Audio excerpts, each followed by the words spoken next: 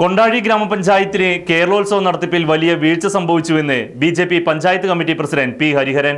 ഗ്രാമപഞ്ചായത്ത് അംഗങ്ങളുടെ പണിയല്ല കേരളോത്സവം നടത്തേണ്ടത് എന്നും അതിന് ക്ലബ്ബുകളിലെ യുവജനങ്ങളെയും യൂത്ത് കോർഡിനേറ്ററെയും ചുമതലപ്പെടുത്തേണ്ടതായിരുന്നു എന്നും അദ്ദേഹം റൈറ്റ് ഷൈൻ ന്യൂസിനോട് പറഞ്ഞു.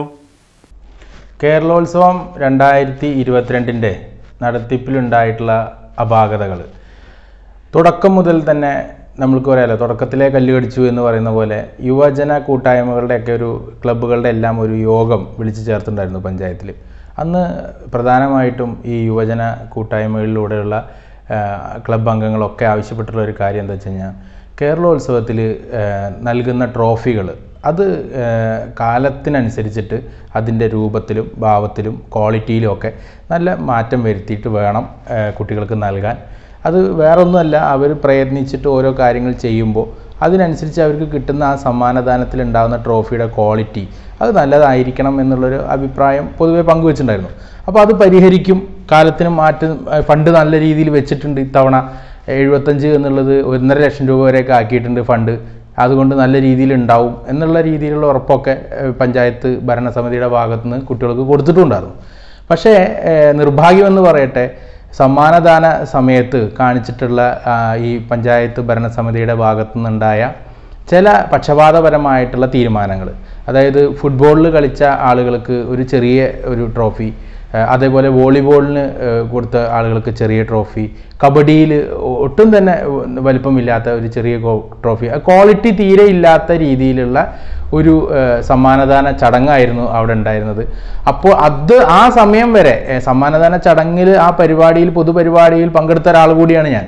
അത് ആ സമയം വരെ നമ്മൾ ഭരണസമിതിയുടെ കഴിവിനെയും ഈ പരിപാടികളെയും ഒക്കെ പ്രകീർത്തിച്ചുകൊണ്ട് എല്ലാവരും സംസാരിക്കുകയും ഒക്കെ ചെയ്തിട്ടുണ്ടായിരുന്നു. പക്ഷേ ഈ സമ്മാനദാനത്തിൽ അവർ ഈ കാണിച്ച പക്ഷപാതപരമായിട്ടുള്ള ഈ സമീപനം എല്ലാ ക്ലബ് അംഗങ്ങൾക്കും വളരെ മാനസികമായി വിഷമമുണ്ടാക്കുകയും പല ആളുകളും അത് നേരിട്ട് തന്നെ അവിടെ ഭരണസമിതിയിലുള്ള മെമ്പർ പല വാർഡ് മെമ്പർമാർ അവിടെ ഉണ്ടായിരുന്നു. ഇതിന്റെ ചുമതലപ്പെട്ട ആളുകൾ അവിടെ ഉണ്ടായിരുന്നു. അവരോട് നേരിട്ട് തന്നെ പോയി കാര്യങ്ങൾ ചോദ്യം ചെയ്യുകയും കഴിഞ്ഞ കഴി ഞങ്ങൾ മീറ്റിങ്ങിൽ ഇത്തരം കാര്യങ്ങൾ ഉന്നയിച്ചതല്ലേ? എന്നിട്ടും നിങ്ങൾ എന്തുകൊണ്ടാണ് ഇത്രയും മോശമായിട്ടുള്ള നിലവാരത്തിലുള്ള ട്രോഫികൾ ഞങ്ങൾക്ക് തരുന്നത്? എന്ന് ചോദിച്ചിട്ട് അവിടെ ചോദ്യം ചെയ്തിട്ടുണ്ടായിരുന്നു. അതിൽ നിന്നും കൃത്യമായ രീതിയിലൊരു മരു മറുപടി അവർക്ക് കിട്ടിയില്ല എന്ന് കണ്ടപ്പോൾ അവർ അവിടെ ആ സമ്മാനം ലഭിച്ച ട്രോഫികളും സർട്ടിഫിക്കറ്റുകളൊക്കെ അവ ഉപേക്ഷിച്ചിട്ട് പോവേണ്ട. മനസ്സിന് ഭയങ്കരമായ വിഷമം ഉണ്ടാക്കിയിട്ട് പോയ ഒരവസ്ഥ ഉണ്ടായിട്ടുണ്ടായിരുന്നു. പതിനഞ്ച് വാർഡിലെ മെമ്പർമാരെ നമ്മൾ തിരഞ്ഞെടുത്തത് കേരളോത്സവം നടത്താൻ വേണ്ടിയിട്ടല്ല. കേരളോത്സവം നടത്തുക എന്ന് പറയുന്നത് കേരള സംസ്ഥാനത്തിൽ നമ്മുടെ ഓരോ പഞ്ചായത്തിനും ഒരു യൂത്ത് കോർഡിനേറ്റർ എന്ന് പറഞ്ഞിട്ടുള്ള ഒരു സംവിധാനമുണ്ട്.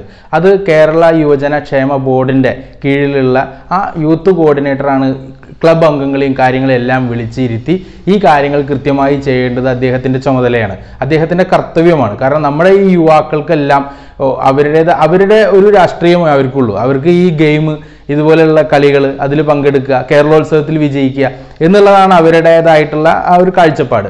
ആ കാഴ്ചപ്പാടിൽ നിന്നുകൊണ്ട് പ്രവർത്തിക്കാനുള്ള യുവജനത്തിന് വേണ്ടിയിട്ട് പ്രവർത്തിക്കുന്ന ഒരു സംവിധാനം നമ്മുടെ ഈ കൊണ്ടാഴി പഞ്ചായത്തിൽ ഉണ്ടായിട്ടില്ല എന്നുള്ളതാണ് ഏറ്റവും വലിയൊരു പരാജയമായിട്ട് ഞാൻ കാണുന്നത്.